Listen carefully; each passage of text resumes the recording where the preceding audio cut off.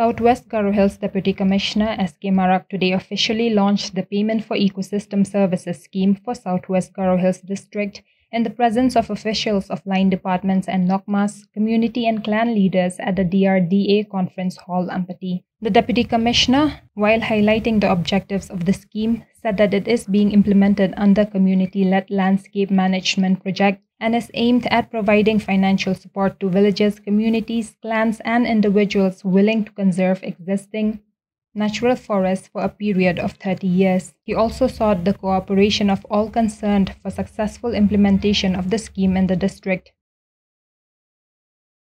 DGP Meghalaya Dr. L.R. Bishnoi today tweeted that East Khasi Hills District Police, acting on intel, has nabbed one person and recovered 52.67 grams of heroin and rupees 1.46 lakh cash. A mobile phone and i10 car was also seized from the accused. Meanwhile, drug awareness programs were organized by the Meghalaya police in several districts of the state as part of observations for International Day Against Drug and Substance Abuse, Nashe Se Azadi Pakhwada updating on the temporary restoration work of the 38.79 kilometers of Smith, Mawkynrew, and Maulad Road under Mawkynrew CNRD block that was damaged due to landslides. The Office of the Deputy Commissioner East Khasi Hills District informed that the work is still in progress. However, one-way traffic for medium-weight vehicles up to Maulad has been opened. Former Cabinet Minister and Pynthorumkhrah MLA A.L. Hek today laid the foundation stone for the Nongmynsong Secondary School in the presence of MDC Joseph Fantin Lakadong.